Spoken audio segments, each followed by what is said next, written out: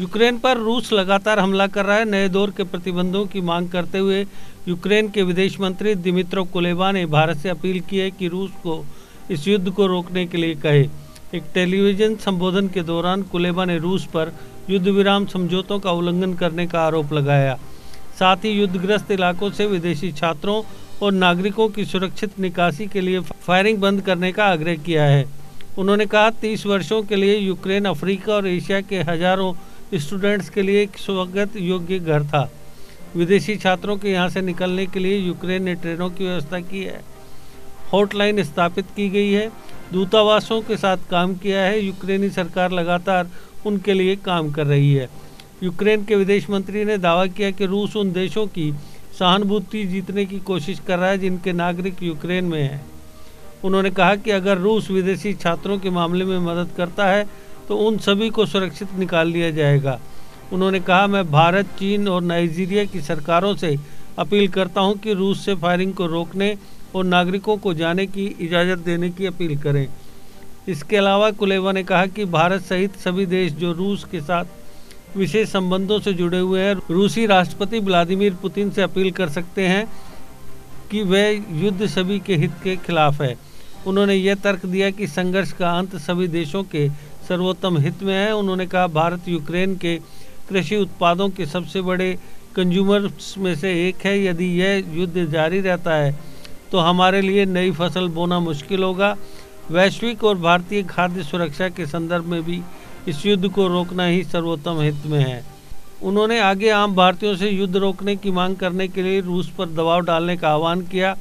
उन्होंने कहा, यूक्रेन केवल इसलिए लड़ रहा है क्योंकि हम पर हमला किया गया था और हमें अपनी भूमि की रक्षा करनी है क्योंकि पुतिन हमारे अस्तित्व के अधिकार को नहीं पहचानते हैं। वहीं दूसरी ओर विदेश मंत्रालय ने शनिवार को कहा कि ऑपरेशन गंगा के तहत तिरसठ उड़ानों से अब तक लगभग 13,300 लोग यूक्रेन से भारत लौटे हैं।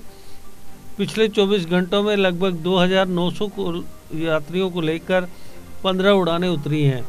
एक ब्रीफिंग में विदेश मंत्रालय के ऑफिशियल स्पोक्सपर्सन अरिंदम बागची ने कहा कि पिछले 24 घंटों में लगभग उनतीस लोगों के साथ 15 उड़ानें उतरी हैं। ऑपरेशन गंगा के तहत तिरसठ उड़ानों से अब तक लगभग 13,300 लोग भारत लौटे हैं। अगले 24 घंटे के लिए 13 उड़ानें निर्धारित हैं। उन्होंने कहा कि 21,000 से अधिक लोग यूक्रेन छोड़ चुके हैं। अगर आपका सपना कोई सरकारी नौकरी का है और अभी तक नहीं हुआ है सफल तो देर किस बात की? आज ही ज्वाइन करें कैरियर अड्डा जम्मू। जम्मू कश्मीर का एक ऐसा इंस्टीट्यूट जो बच्चों के उज्जवल भविष्य के लिए लगातार फ्री कोचिंग मुहैया करवा रहे हैं। J K S S B S S C banking और अन्य गवर्नमेंट जॉब एग्ज़ाम्स के लिए हर सोमवार को नए बैचेस शुरू होते हैं।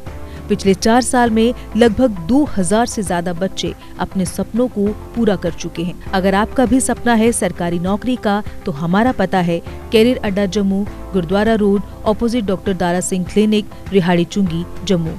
Contact number double nine zero six one eight seven one five seven zero one nine one two five eight three two five six G K update update रहे हमारे साथ। अगर आप ये वीडियो YouTube पर देख रहे हैं तो हमारे YouTube चैनल को सब्सक्राइब करें और बेल आइकन को क्लिक करें। अगर आप ये वीडियो Facebook पर देख रहे हैं तो हमारा Facebook पेज लाइक ज़रूर करें। For advertisement please contact seven zero five one zero nine one eight one one